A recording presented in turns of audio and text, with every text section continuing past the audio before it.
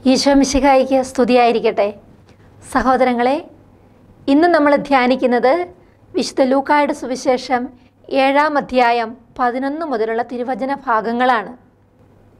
നായിലെ വിധവയ്ക്ക് നഷ്ടപ്പെട്ട തന്റെ ഏക മകന്റെ സങ്കടത്തിന്റെ മുൻപിൽ ദൈവത്തിന്റെ വലിയ കരുണയും സ്പർശനവും ഇടപെടലുമുണ്ടാകുന്ന ഈ തിരുവചന ഭാഗം നമ്മൾ ധ്യാനിക്കുമ്പോൾ സഹോദരങ്ങളെ നമുക്ക് കാണാൻ സാധിക്കുന്നത് ഈശോ വ്യക്തികളോട് പുലർത്തുന്ന ജനക്കൂട്ടത്തെക്കാൾ ഉപരി വ്യക്തികളെ ശ്രദ്ധിക്കുന്ന കർത്താവിനെ നമ്മളിവിടെ കാണുകയാണ്.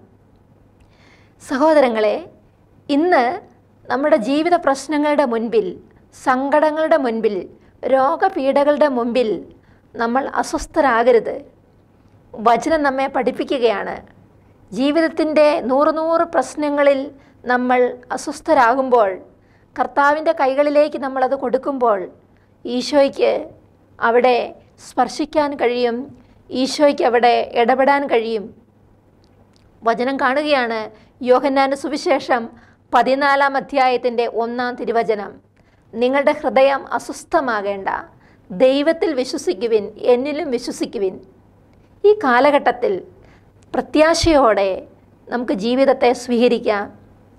കർത്താവിന്റെ കരങ്ങളിലേക്ക് നമ്മുടെ എല്ലാ പ്രശ്നങ്ങളെയും നമുക്ക് സമർപ്പിച്ച് കാത്തിരിക്കാം സഹോദരങ്ങളെ. വചനം നമ്മൾ വീണ്ടും കാണുകയാണ്. വിശുദ്ധ ലൂക്കായുടെ സുവിശേഷം പതിനെട്ടാം അധ്യായത്തിന്റെ ഏഴാമത്തെ തിരുവചനം. രാവും പകലും തന്നെ വിളിച്ചപേക്ഷിക്കുന്ന തന്റെ തെരഞ്ഞെടുക്കപ്പെട്ടവരുടെ മേൽ അവിടുന്ന് നീതി നടത്തി കൊടുക്കുകയില്ലേ? അതിന് അവിടുന്ന് കാലവിളംബം വരുത്തുമോ? അവർക്ക് വേഗം നീതി നടത്തി കൊടുക്കും.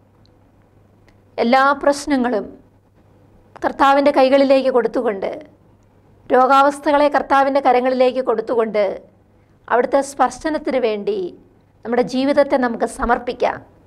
സഹോദരങ്ങളെ നമുക്കിങ്ങനെ പ്രാർത്ഥിക്കാം.